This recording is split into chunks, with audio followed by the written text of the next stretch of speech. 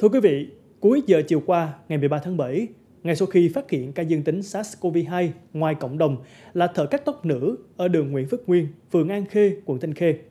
Quận Thanh Khê đã nhanh chóng khoanh vùng, thiết lập vùng cách ly y tế tạm thời tại khu vực đường Nguyễn Phước Nguyên thuộc phường An Khê, trong đó có chợ Thuận An. Đồng thời tiến hành lấy mẫu xét nghiệm cho tất cả hộ dân và tiểu thương tại đây.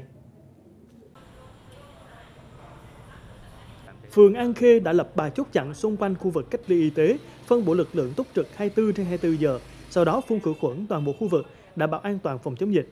Theo đó, khu vực cách ly từ đoạn số 256 đến 304, số 265 đến 311 đường Nguyễn Phước Nguyên và một phần đường Nguyễn Công Hãng, bao gồm 60 hộ dân. Chợ Tuần An nằm trong khu vực này nên tạm dừng hoạt động. Lãnh đạo phường cũng cho biết khu vực cách ly này phức tạp vì có thêm chợ, khoảng 120 tiểu thương và người dân buôn bán xung quanh rất đông. Xác định được cái, cái tình hình phức tạp như vậy cho nên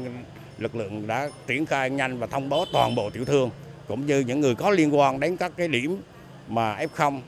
có đến để mà chúng ta khoanh vùng F1, F2 và tiến hành tổ chức xét nghiệm ngay rồi đến 21 giờ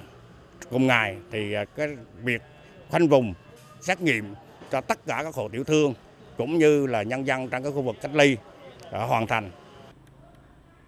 Kết quả xét nghiệm cho hơn 300 người dân và tiểu thương chợ sẽ có trong hôm nay. Thời gian cách ly y tế tạm thời sẽ kéo dài trong 7 ngày và có thể gia hạn thêm tùy theo tình hình thực tế.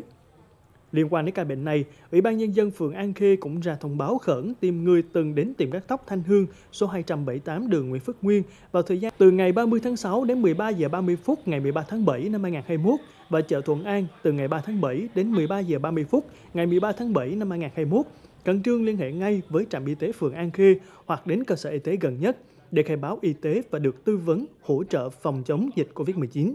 đồng thời thực hiện các biện pháp tự theo dõi sức khỏe, hạn chế tiếp xúc với người khác để phòng chống dịch.